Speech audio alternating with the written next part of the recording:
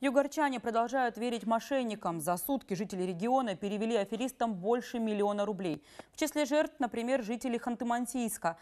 Югорчанка пыталась забронировать место на сайте попутчиков. Водитель предложил внести предоплату за поездку и отправил ссылку. А когда женщина вела реквизиты банковской карты, с ее счетов списали 161 тысячу рублей.